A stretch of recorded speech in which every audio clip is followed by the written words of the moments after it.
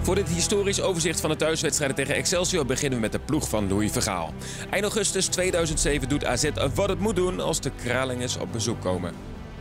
Wegstompen van Graafland. Hier is Augustine in één keer. En die zit.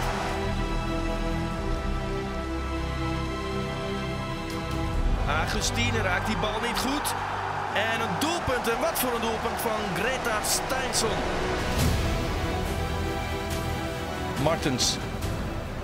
En de Zeeuw helemaal vrij. Hij kan de hoek uitzoeken. Hij pakt de linker. Dan gaan we door naar een koude dag in februari 2012. De man in vorm is de stylist van onze zuiderburen. Die bal breed en het is raak. Het is Martens die scoort. 1-0 AZ. Volgende kans AZ. Benschop. Krijgt hem er nog langs ook. Hij zit erin. Martens.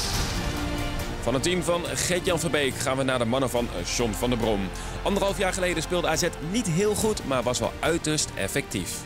Bal weer teruggekomen en nu zit hij erin. Lucassen scoort. Instra, Lucassen, Jansen gaat liggen en nu krijgt hij de strafschop. Vincent Jansen